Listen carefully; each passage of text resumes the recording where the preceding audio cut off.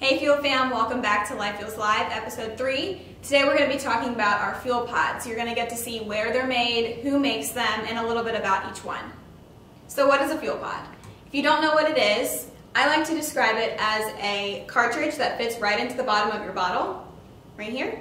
And inside of each fuel pod is 15 servings of a delicious, flavorful, and functional beverage. So on the bottom of every fuel pod is an RFID tag. Basically what an RFID tag is, it is, allows you to connect from one device to another that's nearby. If you want to get technical, and let me check my computer really quick, the definition of an RFID tag is a tag that contains electronically stored information. So a lot of times credit cards, pet tags, all of those things have RFID tags. So if you just pulled your credit card out to check to see if it had an RFID tag, while you're at it, why not buy a Life welcome pack? if you tuned in last week, you kind of got a 411 on the app. Uh, but what's really cool about the Life platform is that our app allows you to customize your beverage. So it's not just adding flavor into your water, it's the customization that's awesome. So if you want a little bit of flavor one day, you can actually adjust your dispense strength. So a light dispense if you dispense this whole fuel pod on light, you can actually get 30 beverages out of this one little cartridge.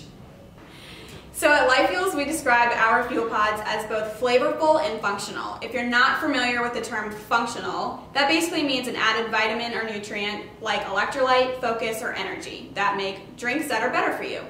So first up is our Blackberry Acai Plus Antioxidants. Uh, this Fuel Pod is amazing. It's refreshing. It tastes like biting into a blackberry, and I actually like to drink this every day, all day, because it's never a bad time for an antioxidant boost. And it's zero calories. So the next fuel pod that I'm going to talk about is our Lemon Lime Plus Electrolytes. This one tastes like a better version of your favorite lemon lime sports drink. I like to drink this one after a workout when I'm feeling a little dehydrated or low on energy. So now we have Ginger Citrus plus Focus. This is one of my favorite fuel pods. It's not overpowering or too strong, so even if you don't love the taste of ginger, you'll still love this fuel pod. And fun fact, it actually has turmeric in it. So at the end of the day, when you're feeling a little bit distracted and you can't really focus, this is the perfect fuel pod. So next up is Peach Plus Multivitamins. It tastes exactly how it sounds, peachy. It has vitamins A, B, C, and E to help boost your immune system. I actually drink this uh, pod a lot this time of year because it's flu season. So I like to keep my immune system ready and fighting. So our next fuel pod is Kiwi Strawberry Lemonade with Electrolytes Plus. This one is loaded with B and C vitamins plus potassium and sodium. You might notice a little bit more of a sodium taste in this fuel pod because it has a little bit more electrolytes than the lemon lime. And I love to drink this one after I do cardio. Now we're going to head down to Life Fuels HQ to meet one of the beverage scientists behind these delicious fuel pods.